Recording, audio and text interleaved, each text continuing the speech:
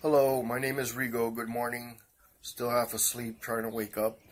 Um, today I'm going to build the Batmobile. This is going to be in three sections, uh, three parts, in other words, because it is a big build. I'm building the 1989 Batmobile, which will fit the 7 inch Michael Keaton Batman action figure in it.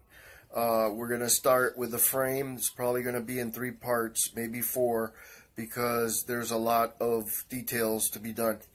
Uh, the first thing you want to do is look for references on the internet. So uh, let's go and take a look and see what I can find on online. Uh, should be interesting. This is what's happened. We got all these different Batmobiles here as you can see. But the first thing that we want, I mean, we want as many references as, as we can get. Um, but the, what we really need right now is a schematic of the top, bottom, and side. That that's pretty good right there. But uh, no, there we go.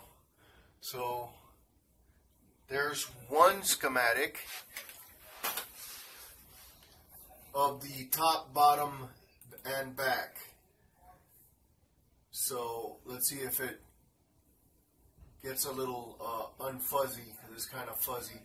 We're not going to go with that. So we're going to keep looking.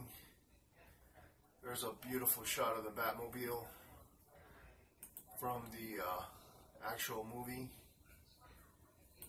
But that's not what we're looking for. We need a schematic. In other words, a blueprint of the Batmobile. There, this is the one that I used. This is perfect. It shows you only the top and the side, but that's good enough. Um, what I did was, and this is really cheap. It's not going to cost you a lot of money to make this Batmobile. You can make it any size you want. You can even make one scale 1-6. Uh, but uh, you need this schematic. So, uh, in other words, this blueprint. This is what I I uh, uh, eyeballed it, but you can print it out into sections, maybe uh, three sections. Uh, I did just eyeballed it. I did half so that I could do perfect symmetry. So in other words, I just drew half of the Batmobile, and then I folded it over, and I did the other half which I'll show you right now uh, exactly how to do that. But first, before we go into all this, you need to have certain uh, tools and glue and things that you're going to need to do this. Um, I get cardboard for free. I go to the store uh, once or twice a week. Uh, I go to Smith's, but you could probably go to Publix or if, if you have a Publix or a Smith's and ask for uh, cardboard. You have any cardboard you're throwing away? They'll most most times they'll be happy to give you some.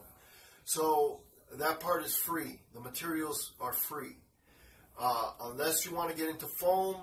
And after you build the frame, you want to put foam on it and paint it. I don't think I'm going to do that to mine. I'm just going to make it out of cardboard and then paint it with Plasti-Dip.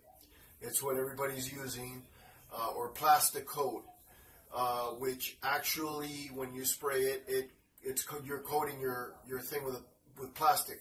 It's just in a spray can. So uh, you have that option. Uh, there's a lot of Batmobiles here, so take your time, look around. You can a lot of rear ends, side, back views. Uh, I'm pretty sure here's another schematic or blueprint. Okay, so now we got these schematics off your TV or your computer, whichever one you have, or a phone. You can even get the schematics from a phone. Um, we need tools to do this. So the first thing you're going to need is Elmer's school glue, or you can use Elmer's wood glue. Elmer's wood glue is actually better, dries faster, and um, it's it's a harder glue than this one. Dries uh, to a harder uh, finish. Uh, but with this, you can actually coat your uh, model that you're making uh, with cardboard. And of course, you're going to need cardboard. I just got this cardboard out of the um, recycling bin that they have at Smith's. They just throw this cardboard outside. It's free. Free cardboard. Uh, the next thing you're going to need is a good pair of scissors because you're going to be cutting with some scissors. You're going to need a blade, uh, preferably this type of blade here is the best. Okay, so you're going to need blades and an X-Acto knife. Uh, your preference, just something very sharp. Now, and of course, a uh, a pen, uh, maybe a Sharpie. Sharpies work best. And you're to need your ruler. And I use this piece of metal thing because it was free. I found it. So, but you will need a yardstick basically. That's what this is representing a yardstick, even though it's just a piece of metal. But it's really good for, uh, you know, doing traces and stuff. Last but not least, you're going to need a sharpener to sharpen your tools. Yes, you're going to need a diamond sharpener. Uh, it's good to invest in this. You can get it on eBay. This one cost me like three bucks. Worth it, worth it, worth it. Because uh, you got to sharpen pretty much everything after you use it on cardboard. Cardboard's a little thicker than normal paper, so um, that's going to be that. Now, uh, I'm going to show you a first attempt that I did. Now, mind you, what I did with this is I drew half of it, which is just the front right here. I did that little curve. And then I drew this part right here, going along the line that I saw on the uh, screen. And then this part back here. So basically that's the bottom of the Batmobile. And I'll be making a, a chassis for it and uh, adding some stuff so that the actual um, model will, the wheels will roll on this thing. Now, I wasn't happy with this. I wasn't happy because it's a little thin.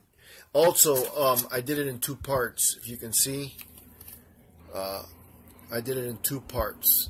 I cut the front first, and I did it down the middle in half, and then I cut the back part.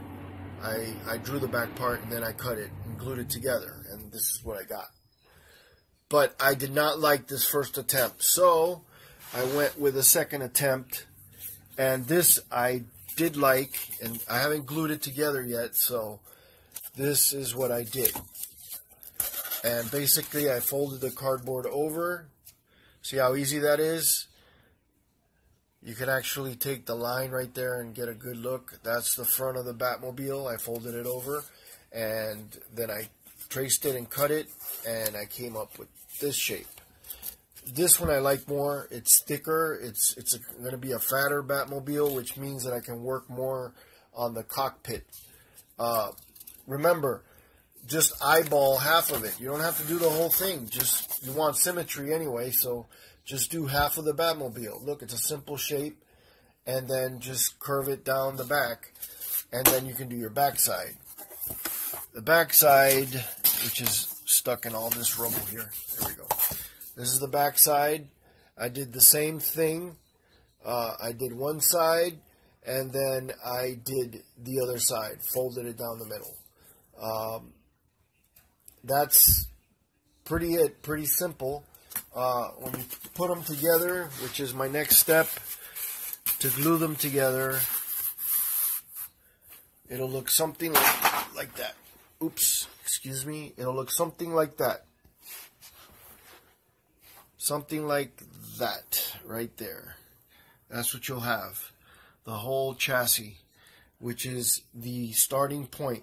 We're going to work on this by, uh, we're going to do the sides, and then we're going to do the top, and then we're going to add some pieces to the side because the back of the Batmobile, if you look in the pictures, it kind of sticks out about right here.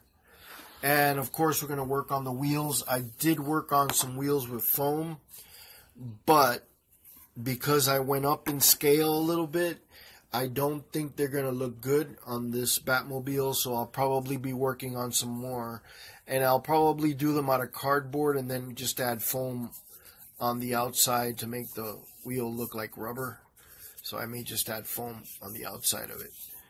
Um, this is it for my first tutorial. Um, I hope you enjoyed looking at this. And yes, you can do it.